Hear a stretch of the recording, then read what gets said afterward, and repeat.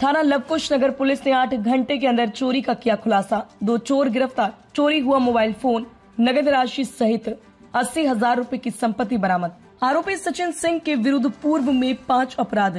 थाना लवकुश नगर में विगत दिवस फरियादी अरसल खान निवासी तलिया मोहल्ला लवकुश नगर की ऑनलाइन ईएफआईआर चोरी संबंधी रिपोर्ट पर थाना लवकुश नगर में भारतीय न्याय संहिता के तहत चोरी का अपराध पंजीबद्ध कर विवेचना में लिया गया। पुलिस टीम ने घटना स्थल का निरीक्षण किया। मूवमेंट करने वाली संदिग्ध की जानकारी एकत्रित की। एकत्रित साक्ष्य एवं संदेह के आधार पर संदेही से पूछताछ की गई, जिन्होंने घटना घटित करना स्वीकार किया। चोरी में संलिप्त दोनों आरोपी सचिन सिंह, पिता हनुमत सिंह, उम्र 25 साल, निवासी लवकुश नगर व शनि चौरसिया, पिता धर्मा चौरसिया, उम्र 20 साल निवासी चौरसिया मोहल्ला लवकुश नगर को गिरफ़्तार कर अभिरक्षा में लिया गया। चोरी हुआ वन प्लस मोबाइल फ़ोन कीमती करीब अस्सी हज़ार रूपए व पाँच सौ रूपए नगद बरामद किया।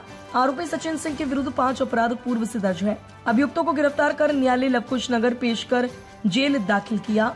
उक्त कार्यवाही में एसडीओपी लवकुश नगर, नवीन दुबे की मार्गदर्शन में थाना प्रभारी निरीक्षक प्रशांत कुमार सेन, प्रधान आरक्षक वीरेंद्र मोहन, आरक्षक रमाकांत, आरक्षक बलराम, आरक्षक विकास सिंह, आरक्षक उमेश वर्मा, आरक्षक अनिल यादव, आरक्षक हिदेश नायक की मुख्य भूमिका रही।